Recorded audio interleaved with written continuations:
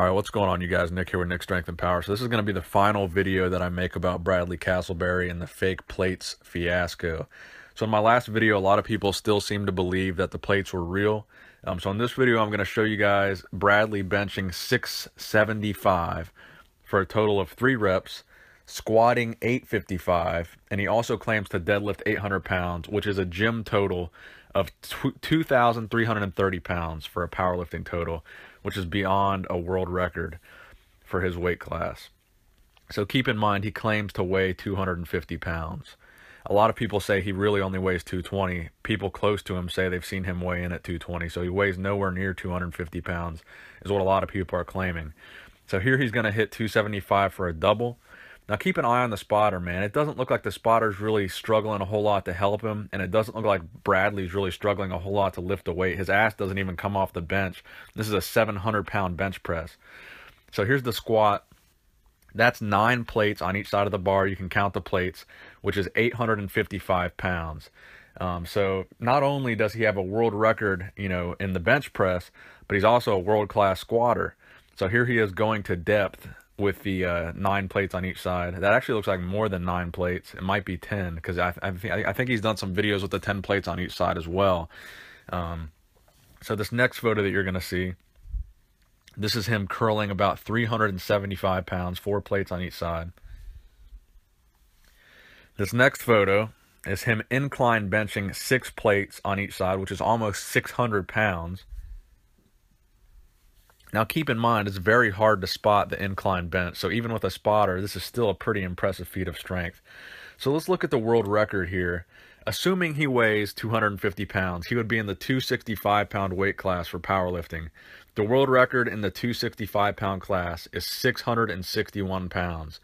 So, you're telling me that he can bench 15 pounds more than the world record for two reps, and he weighs 15 pounds less than the weight class cap and the, and the weight class guy that set that record, um, he was a bench press specialist. He didn't even squat or deadlift in the meet. And you're telling me Bradley can have these crazy squats and crazy deadlifts and um, outshine the world record and do it for two reps. So let's say Bradley only weighs 220 pounds, which is what a lot of people say. So he would be in the 231 pound weight class. So in that weight class, the world record is only 640 pounds.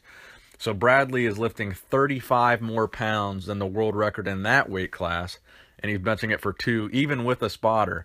I mean, it's just crazy to me that people believe that these plates are real. 700 pounds on the bench press is just an insane number.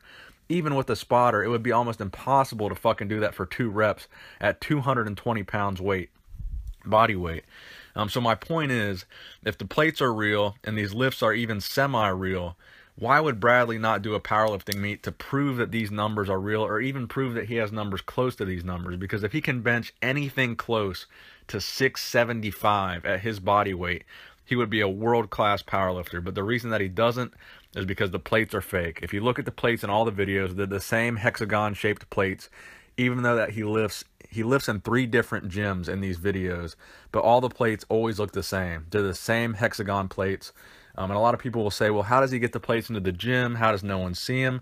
Um, I mean, this guy makes all his money from these videos. If you don't think he's willing to do whatever it takes to get more views than everybody else, um, then you're crazy. This guy would find a way to get the plates in the gym. He could go in there at night. He could know the manager. He could know the owner.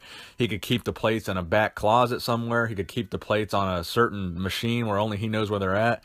Um, people will say, well, where do you get fake plates? You can get fake plates online anywhere. There's like a thousand websites that sell fake plates. If you have the money, you can buy an endless amount of them. Um, so I think the plates are fake. I think he probably knows the manager or the owner of the gym or something. He brings out the plates when he needs them, films his videos, um, because there's no fucking way that he can bench 675 pounds. And that's not me being jealous. That's me stating a fact. I'm not jealous that he can bench 675 because he can't bench 675. So let me know what you guys think in the comment section below. Do you think he's legit? Do you think the plates are real? And specifically, if you think the plates are real, then you have to give me your argument for why you think he can bench 675 for two reps. You get because if you think the plates are real, you think that that lift was real. So he benched pretty much 700 pounds for two reps. So You guys that believe the plates are real also believe that he bent 700 for two. So let me know in the comment section what you think. Give the video a thumbs up if you agree with me that the plates are fake. Nick Strength and Power, signing out.